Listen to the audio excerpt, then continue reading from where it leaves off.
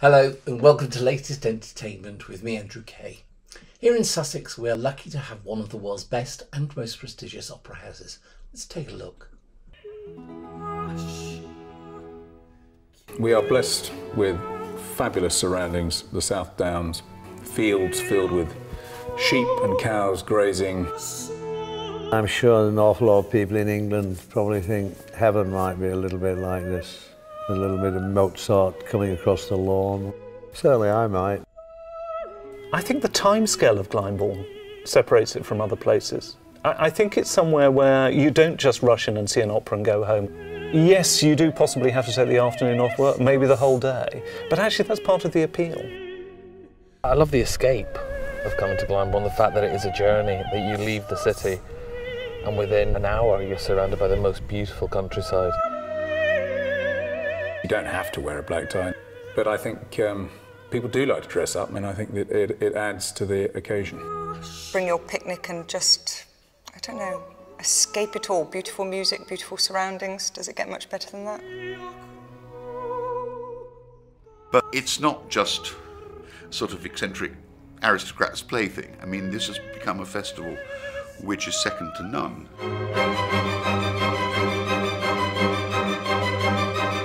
You just feel like being in a, some kind of a specially constructed paradise for artists. It just makes you concentrate on the main issue, which is art. It's about producing the best that we possibly can and something that we are truly proud of in terms of quality, innovation and excitement. I see it as a place for really exciting music, and it's as simple as that. It has some of the greatest singers in the world, a truly remarkable chorus, the highest possible production values, and the world's greatest orchestras. There's a huge attention to detail from the costumes to the wigs to the staging and the musical preparation.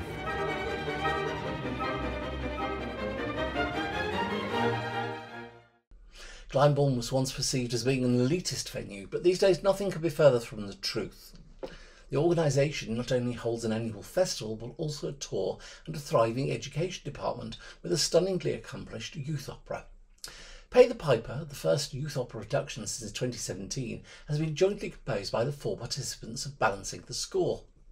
This is a development programme exclusively for female composers created by Glyndebourne to help address the underrepresentation of female composers in classical music.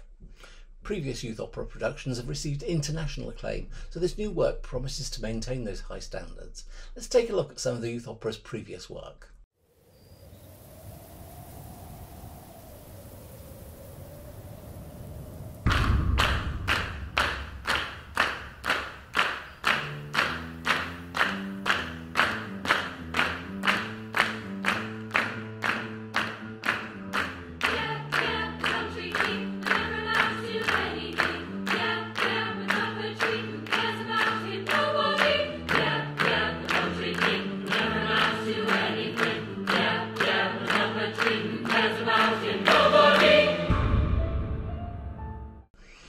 If you've never experienced the glory of this incredible venue, then the Youth Opera is an excellent way to see both inside and out, and perhaps spark a new passion.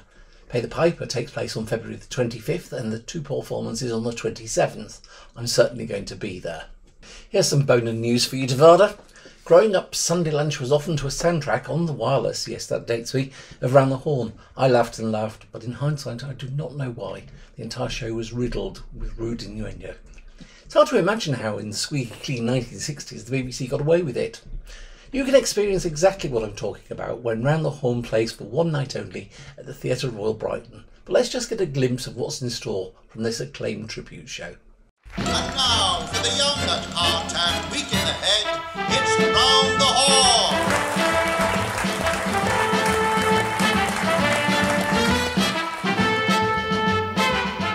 Would you care to? I care to what? I don't know. The next line has been cut out by the producer.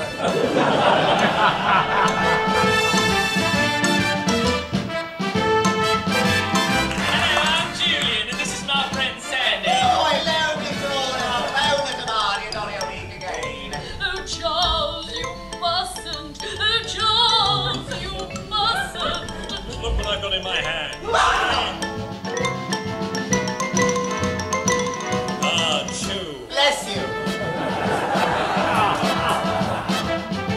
About this complaint. Yes, yes, it's about the amount of sex and violence and depravity on television. Yes, well, we're doing all we can about it. You may be, but there's still not enough.